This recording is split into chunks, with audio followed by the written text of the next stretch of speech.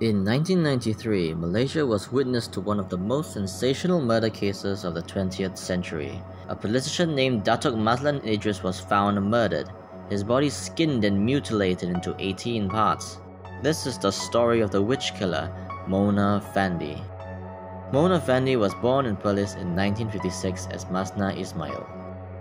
Young Masna was passionate about singing, and her ultimate dream was to become a pop star. She married Muhammad Noor Afandi Abdul Rahman, who promised to help her achieve her dream.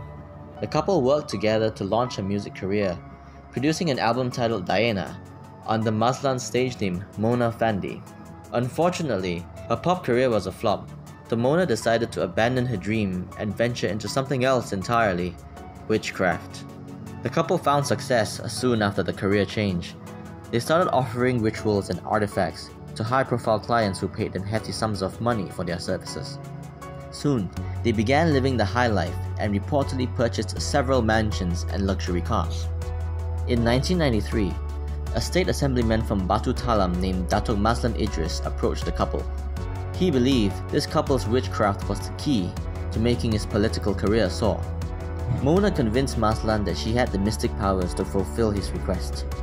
She offered Mazlan three mystical items a staff, a songkok, and a talisman, in exchange for 2.5 million ringgit. The mystical items were believed to be owned by Indonesian President Sukarno.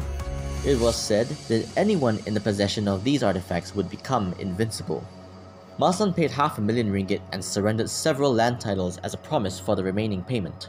On that fateful day, Mona arranged for Mazlan to visit their house to conduct a cleansing ritual. During the ritual, the couple and their assistant, Juraimi Hassan, had Mazlan lie down with his eyes closed as Mona placed flowers on his body. Then, without warning, Juraimi swung an axe on Mazlan's neck, severing his head. They skinned and mutilated Mazlan's body into 18 parts and buried it in a storeroom nearby. A few days after the murder, Juraimi was apprehended for an unrelated drug offense. High and on drugs, he blurted out to the police that he had been involved in Mazlan's death and led them to the storeroom where they hid his body. Shortly after, Mona and her husband were arrested.